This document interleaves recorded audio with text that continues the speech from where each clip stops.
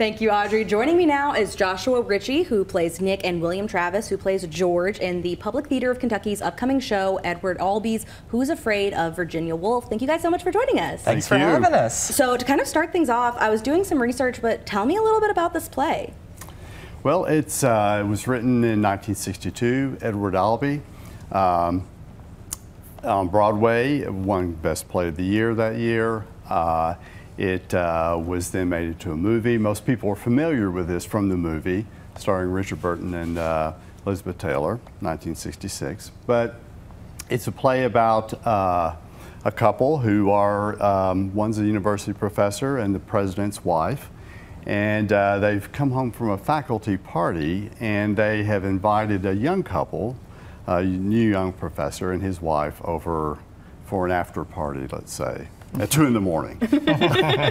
When the best parties are. well, yeah, people say nothing good happens after midnight, and that's kind of the way the play goes, too.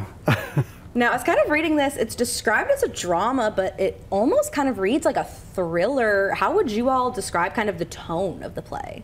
So it's kind of, we were talking about this earlier, and the movie is very dramatic. It's very intense, and the play is intense, but there is a lot of comedy in it. And the play really focuses on um, the funny aspects and the nuances of, of couples and their relationships. And so it's, I wouldn't really call it a thriller, but um, it's definitely um, a, you know, a dramedy. So.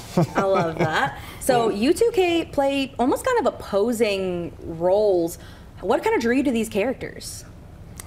Uh, well, uh, I play George, uh, and um, uh, George is an interesting person who with, with an interesting background, which is somewhat uh, unclear through the play, uh, but somewhat revealed through the play.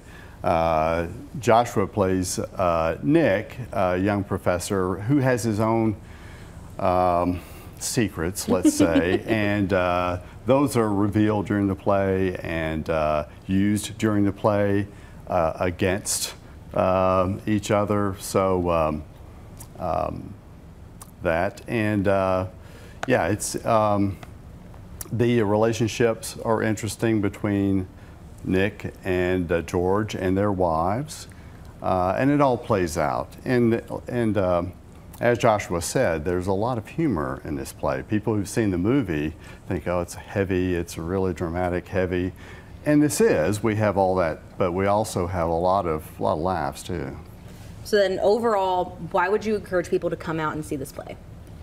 It's such a beautiful representation of the um, difference between truth and illusion. It's, I think we all live in our own truths sometimes, and when um, those get questioned and things come into our path and we question, you know, whether our truth is actually really truth or is it an illusion. So I think that it's, it's a really interesting uh, concept to watch play out between two couples. And it's so, entertaining too. There, there are ups and downs, uh, heaviness and laughs. Uh, so you go through a range of uh, emotions with this play. Sounds like the perfect way to spend a night. Thank you guys for joining us. Who's Afraid of Virginia Woolf will be running through October 10th through the 19th, Thursday through Saturday. Shows will